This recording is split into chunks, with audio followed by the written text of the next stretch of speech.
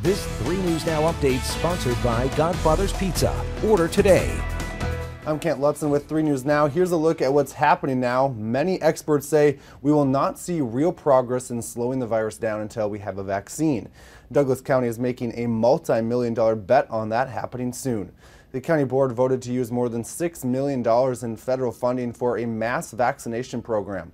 Once a vaccine is approved, county health leaders plan to use an all hands on deck approach to give the shots. That approach is expected to take six weeks.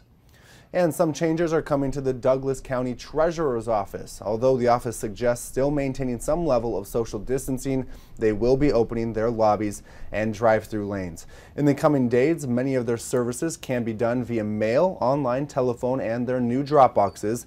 Now the drop boxes are located at all their locations and can be used for renewals, real estate transactions, and new purchases. They are asking people to pay in check or credit when making a transaction. If you do not need to visit a lobby, they ask you to wear a mask and practice social distancing.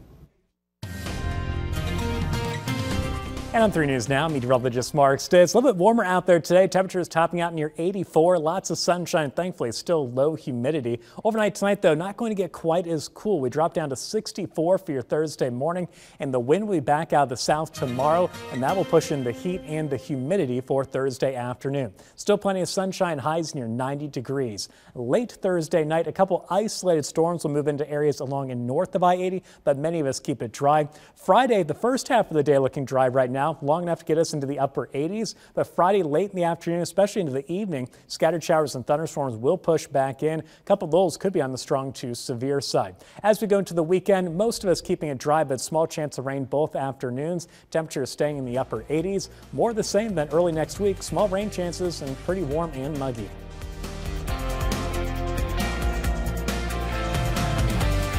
Stuck at home? We've got you covered. My pizzas are baked to perfection in a 450 degree oven, hands free after bake. From oven to box to your door. Call me, Godfather's Pizza. Do it.